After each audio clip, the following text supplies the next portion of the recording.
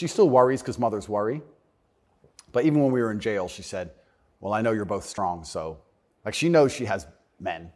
She knows she has, you know, That's pretty great. yeah, of course. And, and I think that's what, I mean, I, I, I believe, especially also, I think a man has a duty to the, his last name. I think we carry the last name. We have a duty to our last name. I am a Tate. I am my father's son.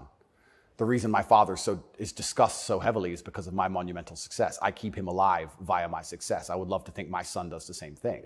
They will talk about my son in a way where they're so interested in his life path that I must be discussed by extension, and then I live forever.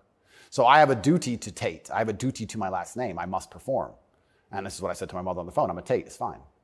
Oh, but the conditions are bad, yeah. Yeah. That's life. And even as a man today, you're waking up, you want to load up a porn website, you should, you should have respect for your last name and you should sit and say, Is this who I am? Is this what I do? I mean, I, a lot of this comes down to the things we discussed at the very beginning self respect, honor, dignity. Well, you have no dignity?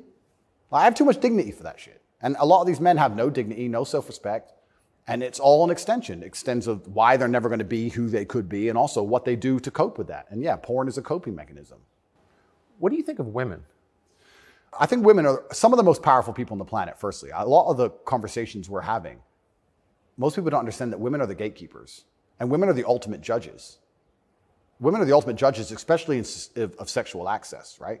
So when I say that maybe 40% of the letters I got in jail were from women, just love letters, perfume on them and kiss, kiss marks and the traditional masculine role is still respected and loved by so many women. If you were to ask the average woman on the street who hasn't lost her mind what she wants in a man, she would like to be financially provided for, physically protected,